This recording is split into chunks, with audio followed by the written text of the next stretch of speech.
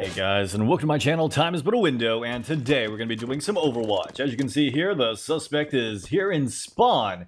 This is warm-up, the map is Inferno, and right now we're not going to be able to really gain too much off of this, so let's fast forward and see if he starts moving around. Still in warm-up, the suspect making his way over here towards middle might have a B-hop script.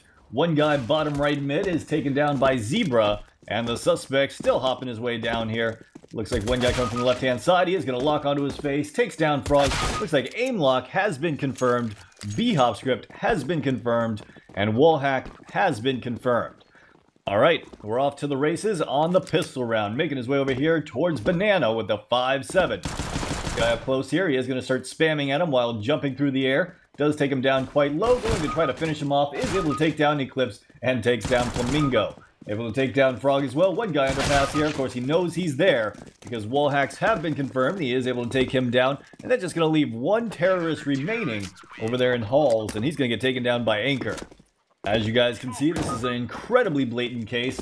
The suspect literally just pushing down middle and mowing over the other team with his cheats. On the bridge here, he knows he's there. Just going to shoot him right through the door. They're just to leave one terrorist remaining. He hears the scope, not that it really matters, because he's just to look at him through the wall and follow him through the wall as his teammate comes up from behind and takes him down.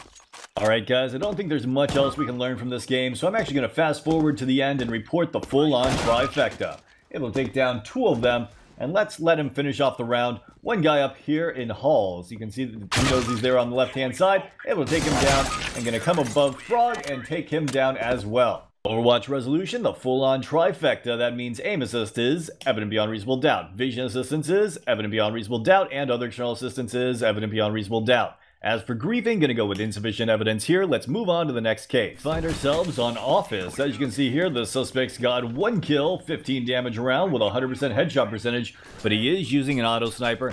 It looks like his entire team almost is using auto snipers say that since it is Office, he's using an auto sniper, most likely cheating. Let's look over here at the radar. You can see that there are people on his team cheating. Four over there, looking backwards while teleporting around. And yeah, the suspect's still AFK. Let's speed things up until he starts moving. Alright, so the suspect is back, but as you can see, he is the choppiest player of them all. The FPS makes it look like he's getting 1 FPS when he's moving around, and it's absolutely insane. Either way, I think I can clear this up with the interpolate. We can obviously see he is blatantly using a anti-aim. Alright, so once again, he's just sitting here in spawn, not really doing anything. I think he might have this account fairly automated, where it just kind of shoots at people if they come around the corner, and other than that, he's pretty much just AFK. As you can see, he's not really doing too much. Here he's making his way over here through the fire. He's actually just letting himself burn right now. Down to 46 HP. Will he decide to push over here towards the terrorist? Let's find out. Makes his way over here towards the terrorist room, pulls out that auto sniper, and I imagine he's just going to lock on everyone here. He does, and we have plenty of evidence to report this. Last guy in the corner, and as you can see, his teammate is going to take him down. So we have the wall hack, the aim lock, and of course, the anti-aim, as well as griefing by letting his teammates do damage to him. Let's just report everything for this case, because he is just being a total dick. Alright, he's able to take down Sparrow there with a nice little lock on his head, able to take down Canary and Mask through the wall, through the smoke, and trying to spam the last guy through the wall, but I think that's too thick. Time for the Overwatch resolution. Let's go through this. Major disruption aim assistance, that is evident beyond reasonable doubt. Vision assistance, that is evident beyond reasonable doubt. Other external assistance, that is evident beyond reasonable doubt. And griefing, that is evident beyond reasonable doubt. Let's move on to the next case. Next up, we find ourselves back on D Inferno, and as you can see, the game is paused. I haven't seen any of it yet. The suspect here has 42 kills, 235 damage around, and seems to be staring at the ground. So just from this alone, I'm going to assume he is full on rage hacking. Let's find out if this is true. Alright, as you can see, he's hopping his way backwards here. It'd be very hard to navigate like this. Now he's hopping kind of sideways and flicking around.